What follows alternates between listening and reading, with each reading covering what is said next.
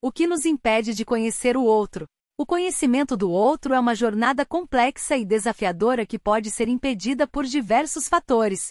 Muitas vezes a falta de empatia e a tendência a julgar os outros rapidamente pode nos impedir de ver as verdadeiras personalidades e experiências deles. Além disso, nossos próprios medos e inseguranças podem ser um obstáculo para a abertura e a compreensão dos outros.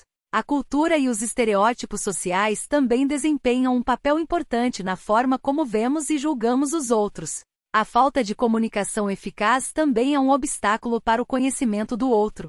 Muitas vezes nos comunicamos de forma inadequada sem escutar de verdade o que o outro tem a dizer. Isso pode levar a mal-entendidos e a uma percepção distorcida da personalidade e das intenções do outro.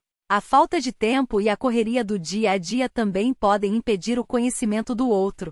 Muitas vezes estamos tão concentrados em nossos próprios problemas e responsabilidades que esquecemos de prestar atenção ao que está acontecendo ao nosso redor. Em resumo, existem muitos fatores que nos impedem de conhecer o outro, mas é importante superar esses obstáculos para que possamos ter relações mais saudáveis e profundas com as pessoas ao nosso redor. A abertura de mente, a comunicação eficaz e a empatia são as chaves para uma compreensão mais profunda do outro.